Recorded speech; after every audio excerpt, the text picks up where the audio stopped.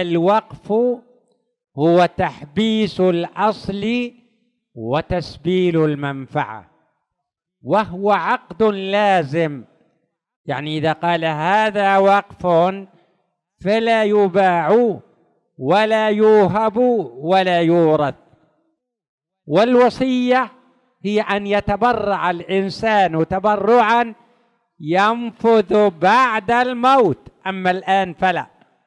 وصية تكون بعد موته.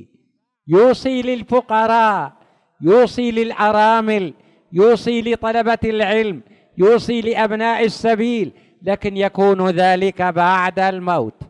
أما الآن فلا. وهذا عقد جائز.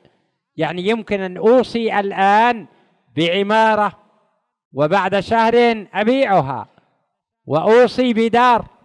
وبعد شهر أو شهرين أبيعها وأوصي بمزرعة أو أوصي بكذا من أعمال من الممتلكات. ففرق أيها الأحباب بين الوقف والوصية.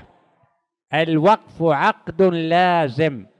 بمجرد أقول هذا وقف فإنه لا يباع ولا يورث ولا يوهب.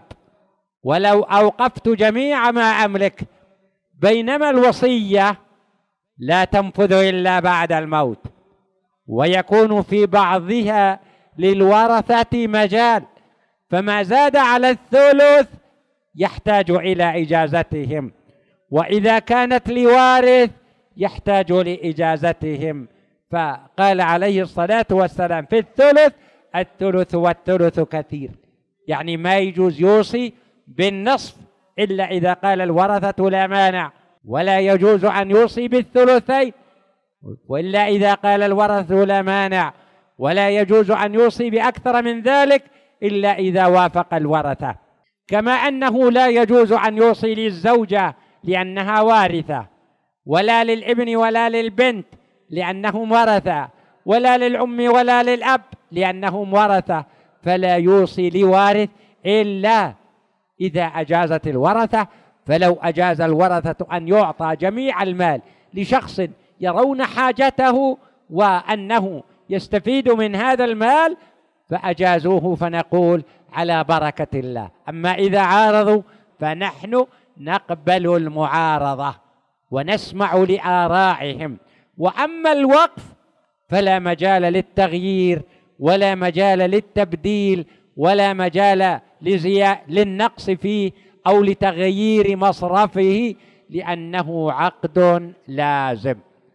الآن إذا أوصى للفقراء هل يجوز أن نعطي المساكين؟ نقول الفقراء والمساكين عبارة شيء واحد لكن هل يجوز أن نعطي أبناء السبيل؟ لا.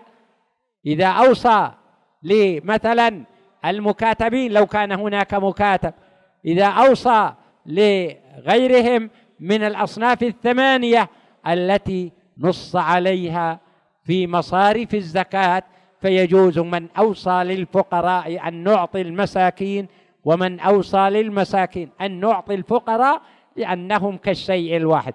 أما ما عداهم فلا.